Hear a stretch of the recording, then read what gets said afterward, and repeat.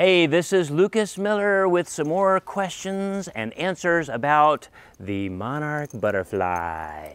Question number three How long do they live?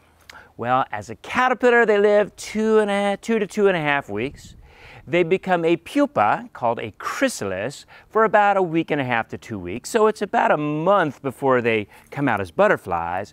And then they're going to live two to six weeks or so.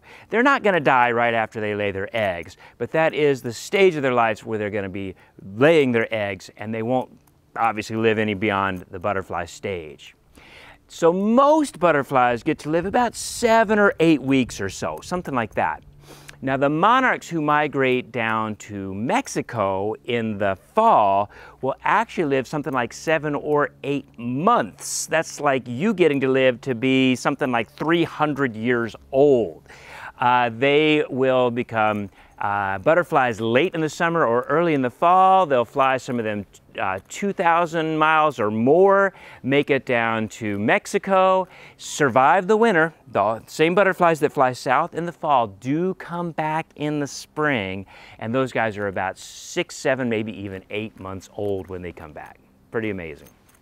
You got more questions? Fire them at me.